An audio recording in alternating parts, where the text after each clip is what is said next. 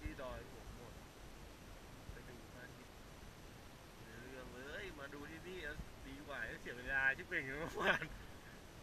ไม่มีอะไรเลยไม่มีบอกเลยไปไปตอนเย็นเนี่ย